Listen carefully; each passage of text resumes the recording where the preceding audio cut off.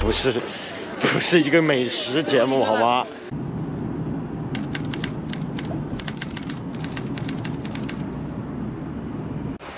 ？Hello，大家好，我是张延奇，今天来当傻子了。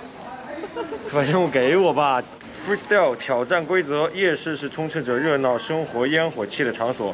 今天你的挑战将在这里展开。以下是本次挑战的规则：一、由侯有趣成员挑选夜市小吃；二、山大王品尝侯有趣挑选的小吃，并用即兴说唱的方式表达对食物的评价。大吃特吃的夜晚即将开始。走，我已经累了，还没开始我已经累了。这里好多人啊，我近十年没有见过这么多人了。哇吃是这个是吗？这个可能跟我想的不太一样。这个是好吃的呀，调这个恶魔料理的过程，我很害怕。你好，你好。最近的说唱水平有一说一下降了很，就是 freestyle 的水平下降了很多，因为没有这个机会练习，也太久没有练习。不得不说，我觉得这个东西一定非常难吃。我已经不太行了，朋友们。你看你的镜头。我已经不太行了，这个东西，我从来不吃辣的加甜的。跟着我的脚步，给我，很 local 的地方。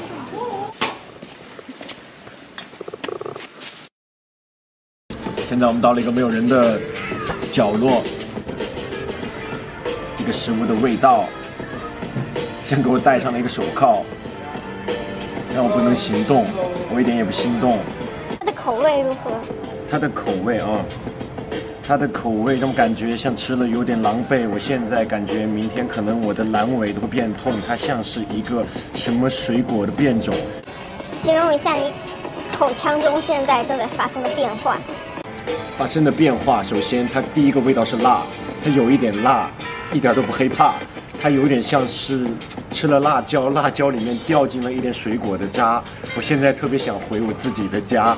我对这个东西没有任何的意见，我对这个料理也没有任何的意见。我只是觉得可能我要吃的少一点，但是真的非常的酸臭，让我把这个世界给看透。然后它硬的像个砖头。我现在特别想，如果它是球的话。我真的想立刻传球，传给我的队友。有没有队友想要品尝？感觉像我大学门口的那条街。百香果。这个是什么做的？糯米啊，这串就可以直接拿走是不？它。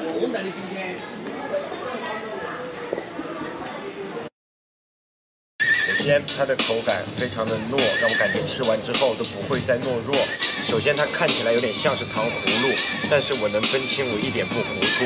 它叫糖油坨坨，外面加了一层糖。我觉得吃完之后我还能再扛，我的肚子吃完它可以再扛两天。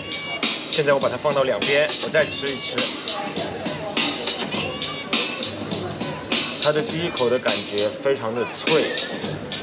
解除了我的疲惫，我吃完之后就不会太累，我可以继续吃，吃完再睡。我现在想一想怎么连续。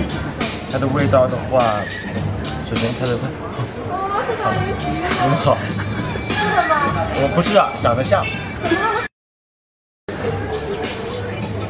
刚才有两个人路过说我长得像个明星。我觉得这个东西才一定是个明星，给他一个八分，因为它的外形很加分。现在还有三个，你们三个正好可以瓜分。有没有人想吃？我现在的胃已经被这个打开了，我觉得可以吃点辣的东西，吃点硬菜了，朋友们。我吃，我吃。这是什么东西啊？要不到楼道里？是狗，还可以，就在这里。因为它的名字叫做网红的魔芋，我看看它能不能够冲出国际。但是我觉得这个味道不是我太喜欢，也不知道现在品尝过了几关，我现在已经快吃不下去。这个东西的存在对我始终打击。它的口感真的也很奇怪，不知道各位有没有吃过皮带？就感觉它是皮带的口感，吃到我手软。我继续的吃着它，它不太香，只是单纯的辣，感觉有点像是来自哦，它的店长会不会打我？我感觉它是工业级的辣，它的 slogan 应该是用来冲业绩的吧。我们下一期要请一个嘉宾，有想推荐的嘉宾吗？请把想要邀请到我这个奇怪 freestyle 挑战里的嘉宾的名字发给我，好吗？在视频下方留言。啊，我们下一期会随机抽取一位幸运的好相处的嘉宾加入我们的直播间。猪油炒饭，你是吃硬货喽？要拍就拍好看点，肯定好看喽。好吧？炒喽。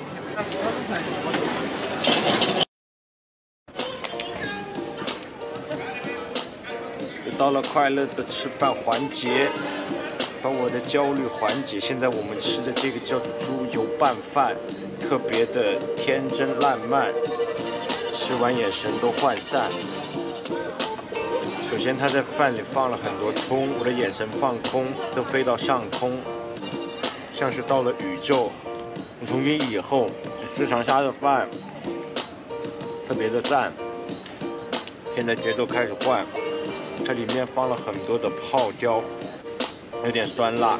现在说说我的看法，它的味道很好，但是吃多了肚子会痛，不知道压不压得重。但是现在真的肚子很空，所以我要吃下下面这一勺再继续。一定要多吃碳水，因为碳水才能够给我们的生命提供伟大的动力，让我们继续的可以继续奋斗，继续的学习。但是，一边吃饭一边唱歌不是好习惯，各位也就只能看一看。大家可以看得出来，我的 freestyle 的水平太久没练了，所以有所下降。所以我们想通过这样一期节目呢，再次让说唱、让 freestyle 融入到我们的生活里面。啊，我们将在未来的日子里，通过不同的形式，到不同的地方，做不同的事情。但是我们都有同样的一件事情要坚持，就是 freestyle。如果你有自信啊，你也加入不了我，还是有点紧张的。说实话，在街上蹲在那里唱啊，就还是有人有异样的目光，让我想到了刚刚喜欢上说唱音乐的时候，就是这样每日每夜的练习。所以我觉得我又找到了动力啊，希望在今后的节目里面。